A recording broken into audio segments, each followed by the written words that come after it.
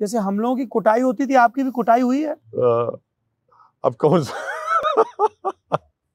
नहीं हम मैं वालिद से नहीं हमारे अम्मा से अम्मा से बहुत बातें सुनता था अम्मा से। पिटाई नहीं हुई? अरे भाई कौन से बेटे को माँ की शफकत का हाथ नहीं लगता? हाँ, और हमको यकीन है कि जिस जगह पर हमारे माँ का तमाचा लगा इंशाल्लाह वो जह, जहन्नम में नहीं जाएगा। अम्मा अम्मा का हमारी अम्मा, अल्लाह उनको अच्छा रखे सेहत दे, उम्र दराज करे। बहुत हमारे लिए मेहनत की अभी भी करती हैं, परेशान रहती